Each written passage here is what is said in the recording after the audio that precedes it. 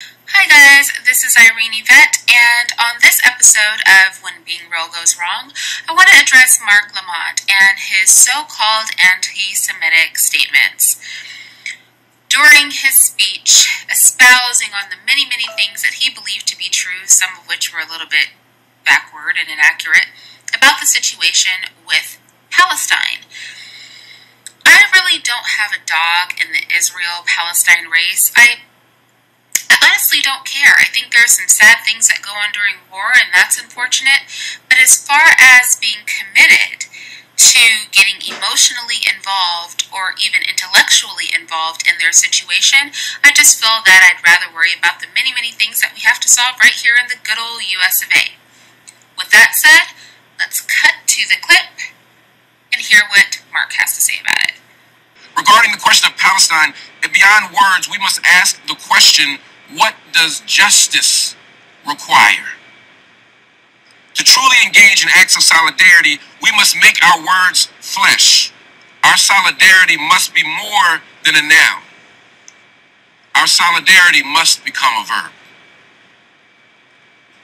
As a black American, my understanding of action and solidarity action is rooted in our own tradition of struggle as black Americans resisted slavery, as well as Jim Crow laws that transformed us from a slave state to an apartheid state, we did, we did so through multiple tactics and strategies. It is this array of tactics that I appeal to as I advocate for concrete action from all of us in this room. Solidarity from the international community demands that we embrace boycotts, divestment, and sanctions as a critical means by which to hold Israel accountable for its treatment of Palestinian people. This movement, which emerges out of the overwhelming majority of Palestinian civil society, offers a nonviolent means by which to demand a return to the pre 67 borders, full rights for Palestinian citizens, and the right of return as dictated by international law.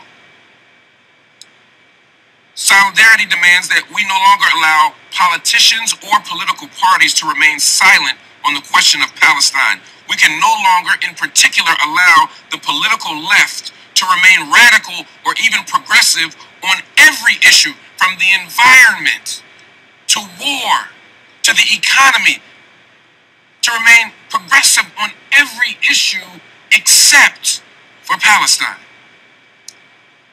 Contrary to Western mythology, black resistance to American apartheid did not come purely through Gandhian nonviolence. Rather, slave revolts and self defense and tactics otherwise divergent from Dr. King or Mahatma Gandhi were equally important to preserving safety and attaining freedom. Allow, if we are to operate in true in true solidarity with Palestinian people, we must allow the, the Palestinian people the same range of opportunity and political possibility. If we are standing in solidarity with Palestinian people, we must recognize the right of an occupied people to defend itself. We must prioritize peace. We must, but we must not romanticize or fetishize it. We must advocate and promote nonviolence at every opportunity, but we cannot endorse a narrow politics of respectability that shames Palestinians for resisting, for refusing to do nothing in the face of state violence and ethnic cleansing.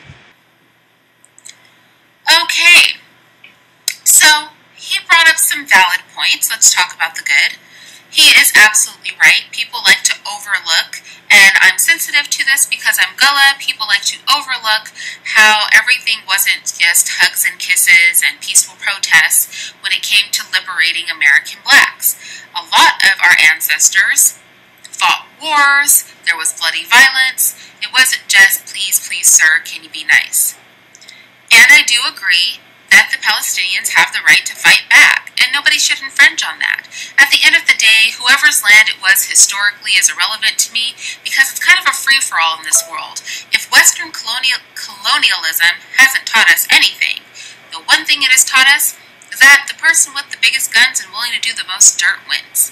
So, with that said, Where Marc did go wrong is number one, don't use our black causes and our black oppression to justify anything for anybody, okay?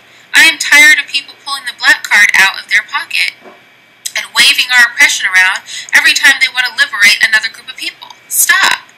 We're not even fully liberated yet. Can we get our stuff going on first before you start using us as a shining example of how people should be allowed to do anything or how oppressed a group of people are? Second, he forgot that black people do not have the monopoly on the oppression Olympics.